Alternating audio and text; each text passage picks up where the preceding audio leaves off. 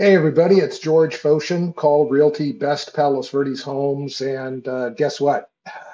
Two months of 2024 are gone in a flash. So, uh, what's happening with the real estate market for the South Bay, Manhattan Beach, Hermosa Beach, Redondo Beach, Torrance, San Pedro, Palos Verdes Peninsula? What's going on in the marketplace? So, let's take a look at the numbers. Go to Palos Verdes Homes Best palosverdeshomesbest.com, palosverdeshomesbest.com, and click on blog.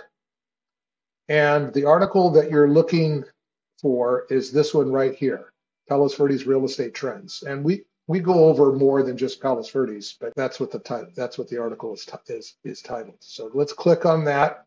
Uh, first thing that you'll notice, this video is going to be replaced by the one I'm doing right now. Uh, let's uh, kind of go through some of the charts. I find this chart to be really, really interesting. What I did here and what I have done for the last, oh my God, since the early 90s, is I take two equal periods of time. So, for example, in this case, what was the average sale price of property sold in the South Bay in February 2024? And what was the average sale price of property sold in um, February of 2023. So same month separated by a year and calculated the differential of, of that. And I've been tracking that differential since the early 90s. And this is a real good indicator of how the market is doing. This is the zero line right here. So when the market absolutely was in a debacle in 2008, we see that those that differential just tanked.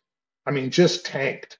Uh, for a while there, uh, prices were over 400,000 less than the same period last year, the, the previous year.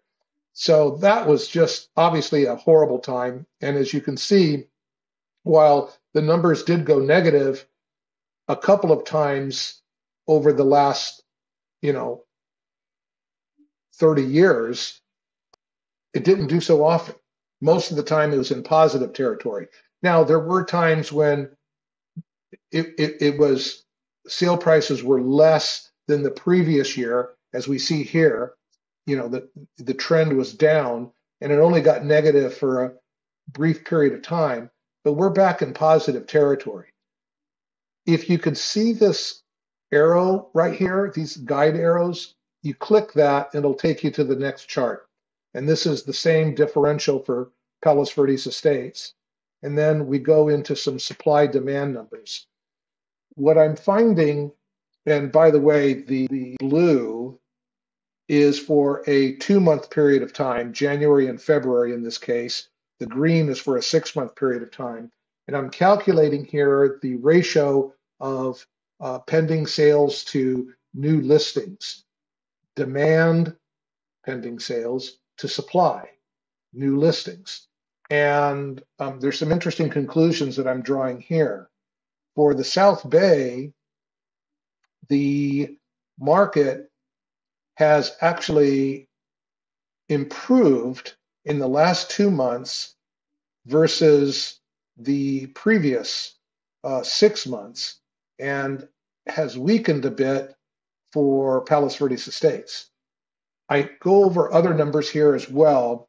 Uh, prices for the Palos Verdes Peninsula are up a little over 7%.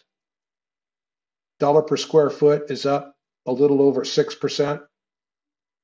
Sale volume is up almost 13%. And then there are other supply demand numbers that you can get for various sections of the South Bay. When you scroll down to the tables, a lot more information here. This is the raw data from which I'm generating these charts. And what I would encourage you to do is give me a call.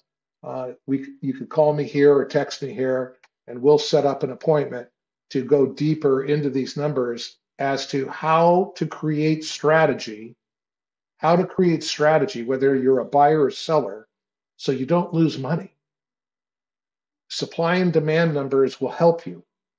And we've got to get a real good handle on that so that your interests are maximized. So give me a call. Let's set up a time. Thanks for watching and talk to you soon. Bye for now.